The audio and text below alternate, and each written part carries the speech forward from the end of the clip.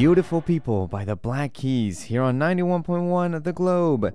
Culturally progressive music. It's 9:45. I'm your host Eduardo, and I have a co-host with me, Alyssa. What's up, Alyssa? What's up? Good morning. All right, good morning. So I have a question for you. Very Okay. interesting for sure.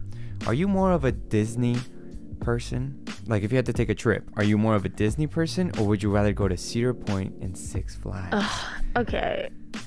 So I I like Disney because it's all like the ambiance and like the whole like experience. Yeah. But they don't have as many like thrill rides, right? And I've never been to Cedar Point. I've been to a couple Six Flags, but I've never been to like Cedar Point. So I would probably say Cedar Point. Cedar Point? Yeah. I can't lie to you, I would also love Cedar Point. I Yeah. feel like like Tyson told me, Okay. Disney World and Disneyland, like Yes. they're amazing to go to when Yes. you're older. Because when you're young, I mean, you enjoy it, but you know, you don't realize what you're taking in, you know? Yeah. So when you're older, like you can more- appreciate it a little bit more. Exactly. I haven't gone actually when I'm older, so I have to Really? go. Oh, it's so much fun. I feel like it's because my So good. family loves Cedar Point. Like we Really? love we have gone like there was a time before COVID we would go every single year. that sounds like so much fun. And it was so much fun. I can't lie to you. I've never been, and I know they have like the huge like roller coasters, and I'm such an adrenaline junkie, and ah, that sounds like so much fun.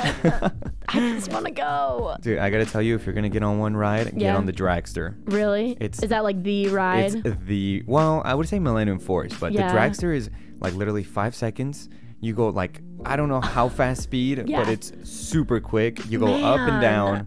It's it's And super that's cool. it. That's it. It's like a dragster. You know what yeah, that is? yeah, like a, like a Like the speed like car. the drag race, like Yeah, the yeah. speed car. Yeah, Basically that fast. that's so cool. So yes, everyone, Cedar Point, I think for us would win. Yeah, But I would coming, agree. Coming up next, with a little bit of the globe magic, Seth is going to be with you on that sports report.